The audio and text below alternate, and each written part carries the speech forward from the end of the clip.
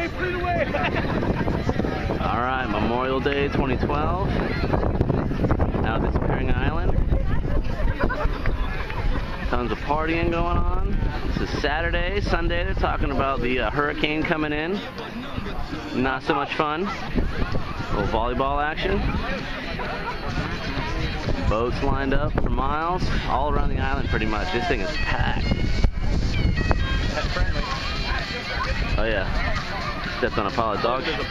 Stepped on a pile of dog shit earlier. you know it's pet friendly.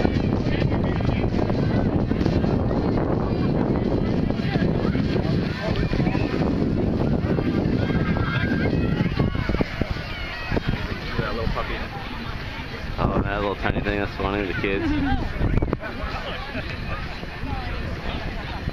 And we're on the uh, south side of the island, but there you go. There's the uh, Yeah, I mean, even all the way down there, you can see all the boats. there's the uh, lighthouse, Ponce Inlet, and then yeah, the boats. Uh, I don't know how well we'll be able to see this, but man, they extend all the way around.